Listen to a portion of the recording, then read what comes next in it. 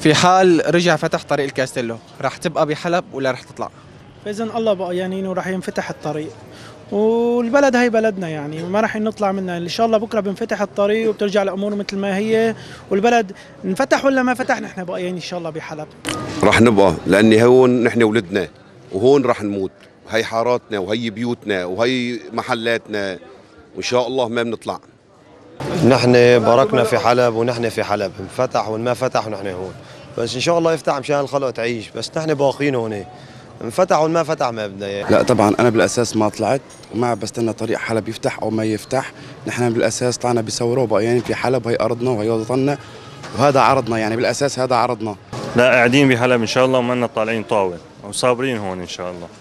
لا طبعا نضل يعني ما, مستحيل إنه نرجع نطلع يعني. طلعت أنا بالنسبة لي طلعت وبهدلت برا ورجعت بابا رجعت بعيد اطول طبعا راح نبقى بحلب وراح نضل صامدين للأبد وما بنخلي أي شخص مين من كانه يكون إنه يحتل وطننا وبيتنا.